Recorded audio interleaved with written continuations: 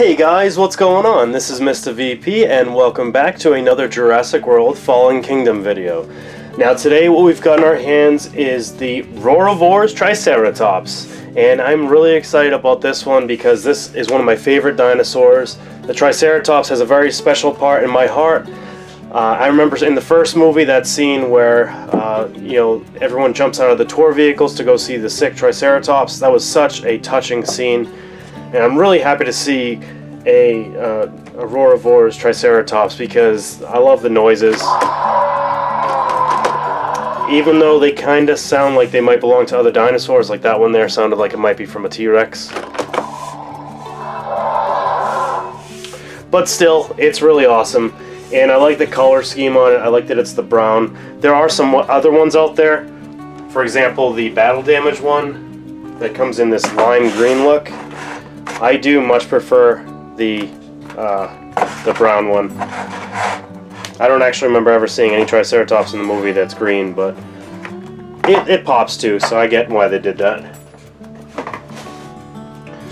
So let's take a look at the packaging. So the packaging is the pretty standard Jurassic World Fallen Kingdom packaging. You've got the logo on the top left, Owen and Blue the Raptor down there in the bottom left. You've got the Roarivores Triceratops in the, in the middle, You've got the little headbutting action shown in the bottom right, and then it shows you in the top right that it makes noises, and then there's a little hand, you know, pressing the back here, showing you that that's how you activate the, the, the noises. Uh, this side of the box, just the Jurassic World logo. This side, same thing. And bottom of the box, just some boring information about don't eat small parts and it's made in China, stuff like that. Back of the box, very cool illustration here showing that you push the button for sound and head ramming action. And again, it shows the little finger pressing down on the button on the back. And again, it shows that the head moves up and down in a head ramming fashion. And it includes the batteries, which are three AG13 uh, button cell batteries.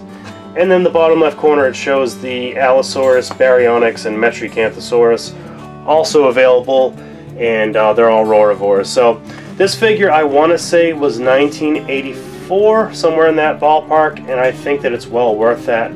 So without further ado, let's do the unboxing. Okay, so it looks like it's just a few little ties here.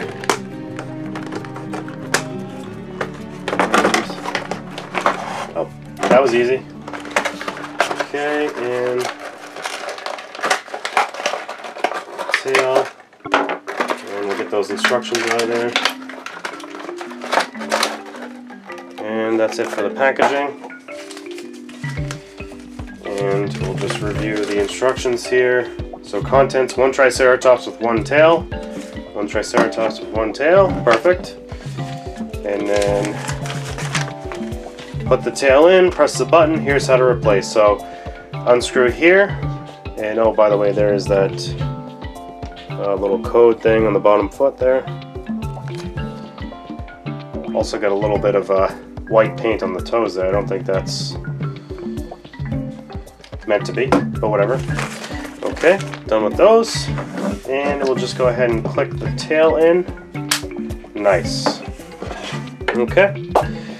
So I have to say, it's a nice figure. Now, articulation wise, we'll go from the back to the front. So legs rotate all the way around, even though it gets a little hard right here because the body gets in the way. There is a little bit of side to side in out motion.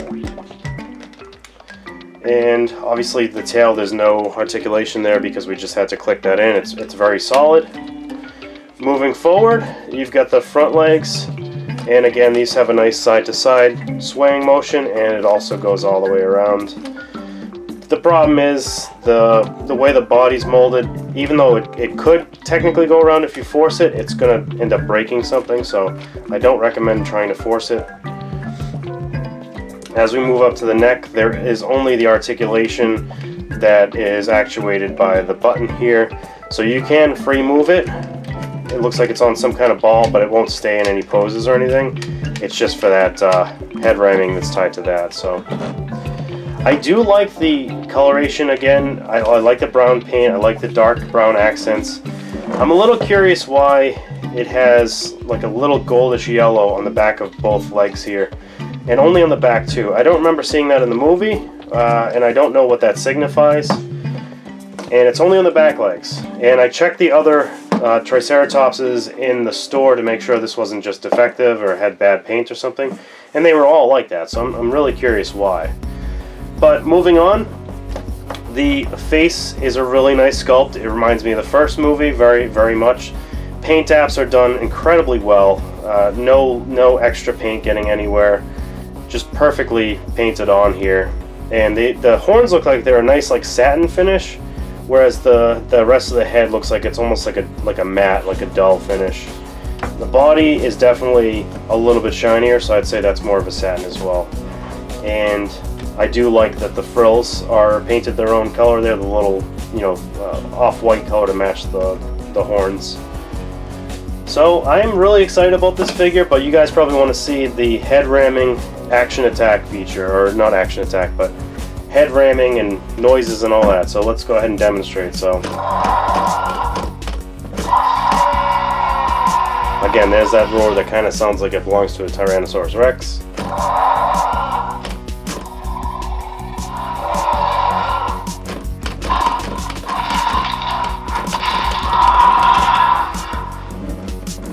So what do you guys think?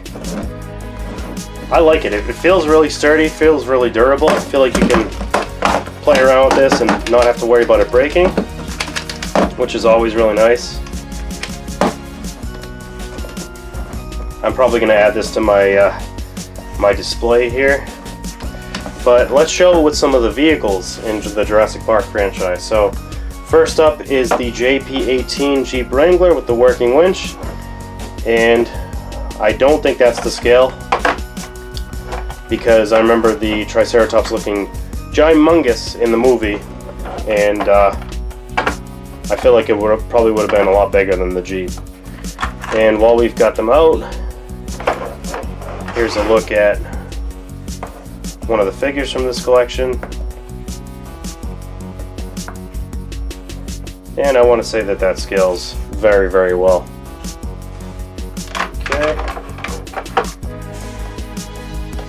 Next up, we've got the Textron Tiger.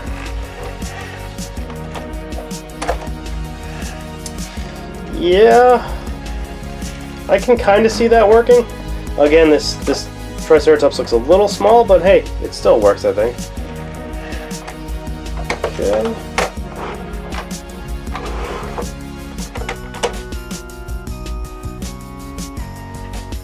Okay, now let's show it with some other dinosaurs. So here's the Baryonyx, also a Roarivore.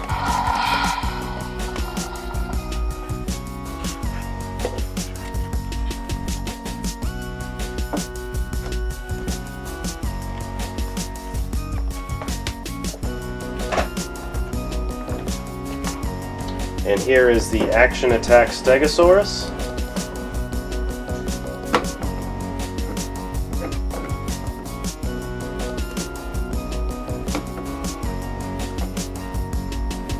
These actually scale really well together. I'm kind of surprised.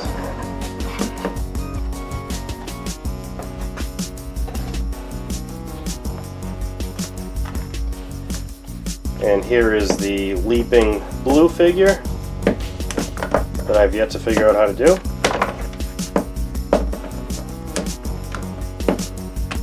I think that scales pretty well. And last but not least, the Thrash and Throw Tyrannosaurus Rex.